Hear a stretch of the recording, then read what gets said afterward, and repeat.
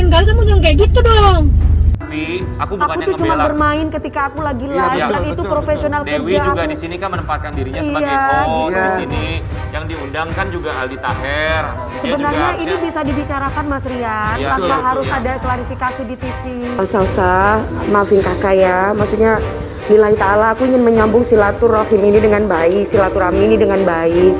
Kakak tahu kamu lagi hamil, bagaimana perasaan seorang istri aku paham, tapi jangan ada sedikit rasa curiga apa pun. kita nggak nggak berduaan gitu ya terus juga si Angga Wijaya juga ada di situ kok nah ya mungkin ya istri gua risih kali ya tapi gua udah bilang itu kan lagi acara TV nah, dia bilang ya nggak gitu-gitu juga kali gatal-gatal atau coba menggodain Dewi Persik tapi kenapa kalimat-kalimatnya kayak begini bercandain gitu Lah gue ngomong juga di depan rame kok, depan kamera. Gue ngomong di dalam Kenapa hotel berduaan gitu loh.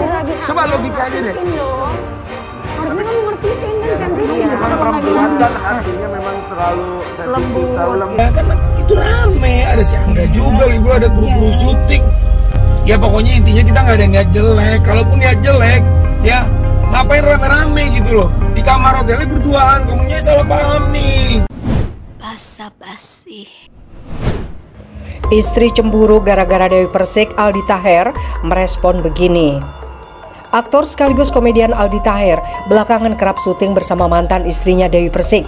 Keduanya bahkan mempunyai program bersama di salah satu stasiun televisi. Kedekatan Aldi Taher dengan Dewi Persik ternyata membuat istrinya Salsabili cemburu. Hal tersebut disampaikan Aldi Tahir saat menjadi bintang tamu Rumpi di Trans TV. Awalnya pembawa acara Feni Rose bertanya, apakah istri Aldi Tahir cemburu gara-gara kedekatannya dengan Dewi Persik? Fakta, jawab Aldi Tahir. Pelantun Nisha Sabian I Love You So Much itu menilai wajar Salsabili cemburu terhadap Dewi Persik. Menurut Aldi Tahir, cemburu itu merupakan tanda kasih sayang. Cemburu itu cinta, memangnya saya tiang listrik, tidak dicemburui, imbuh Aldi Taher.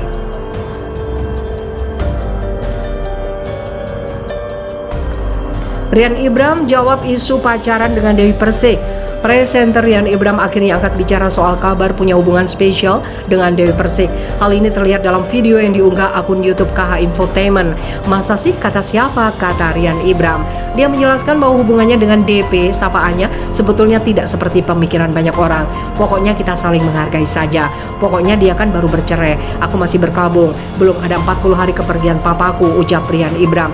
Jadi kita sama-sama saling menghargai bahwa ada satu proses yang harus dilewati, ada waktu yang harus dijalani. Sejauh ini, Rian Ibram merasa nyaman bersama Dewi Persik, apalagi keduanya menjadi host di program yang sama, yaitu Pagi-Pagi Ambiar. Kita sih nyaman kerja bareng, segala macam bareng-bareng so far. Masih begitu, kita nggak tahu ke depannya seperti apa, tutur Rian Ibram. Cuma yang penting kan nyaman, tapi masalah waktu nggak pernah tahu apa yang akan dihadapi. Menurut Rian Ibram, Dewi Persik punya kepribadian yang baik, dia merupakan salah satu artis yang tulus kepada orang lain.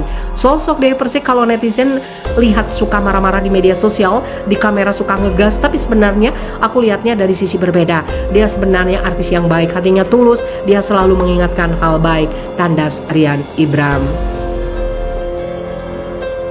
Dewi Persik akhirnya bertemu Ibunda Rian Ibram bakal menikah dalam waktu dekat. Momen pertemuan Dewi Persik dengan Ibunda Rian Ibram akhirnya terbongkar. Hubungan presenter Rian Ibram dan pedangdut yang memiliki nama asli Dewi Muria Agung makin menunjukkan keseriusan. Meski berawal dari cinta lokasi lantaran menjadi host di salah satu program acara yang sama, Dewi Persik dan Rian Ibram makin lengket. Baru-baru ini Rian Ibram mengaku sudah membawa Dewi Persik ke rumahnya.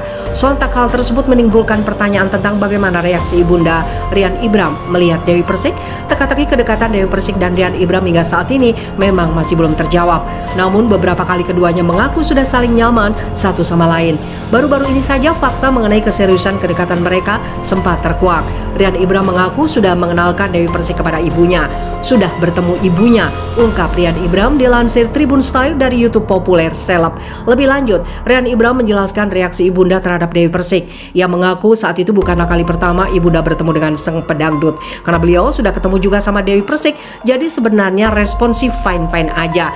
Terang Rian Ibram. Hanya saja teman-teman sang ibunda yang justru sering menanyakan hubungannya dengan Dewi Persik.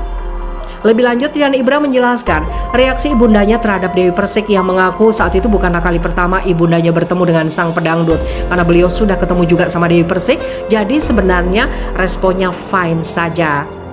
Melihat hal tersebut, Rian Ibrahim menjelaskan jika ibunya hanya bisa meminta doa. Dia standar lah minta doa. Pastinya semua orang tua pengen yang terbaik buat anaknya termasuk keputusan yang diambil. Meski keseriusan dengan Dewi Persik jelas terlihat, Rian Ibrahim masih terus tuai sorotan netizen. Terlebih baru-baru ini ia kepergok jalan dengan wanita lain. Dia menjelaskan bahwa wanita yang beredar di media sosial adalah sahabatnya. Itu sahabat saya. Dia seorang pengusaha di Bali. Dia dekat dengan saya sampai akhirnya Dewi Persik tidak enak dengan dia. Rian Ibrahim tidak masalah netizen berkomentar mengenai hubungannya dengan Dewi Persik. Mereka mau bilang apa, support apa, doa apa karena saya juga yakin apa pun yang mereka sampaikan sebenarnya niatnya baik, doanya baik. Kedekatan Dewi Persik dan Rian Ibram terus jadi sorotan. Rian Ibram tidak masalah netizen berkomentar mengenai hubungannya dengan Dewi Persik. Mereka mau bilang apa, support apa, doa apa karena saya yakin apa pun yang mereka sampaikan sebenarnya niatnya baik, doanya baik. Kedekatan Dewi Persik dan Rian Ibram terus jadi sorotan. Beberapa waktu lalu, Rian Ibram belak-belakan mengaku nyaman dengan sang pedangdut. Rian Ibram mengaku Dewi Persik setiap hari membuatkan bekal makanan untuknya selama dua tahun belakangan ini. Mendengar hal itu, Dewi Persik langsung angkat bicara. Kalau laki-laki suka sama aku ya nggak apa-apa. Orang dia mepetin mulu kan, ucap Dewi Persik. Hanya saja Dewi Persik tidak mau terburu-buru untuk menikah. Rata-rata aku ketemu laki-laki lembut tapi lelembut, mohon maaf nih ya, semua menyangka Dewi Persik itu bla bla bla. Kalian tidak tahu apa yang sebenarnya terjadi. Tutupnya.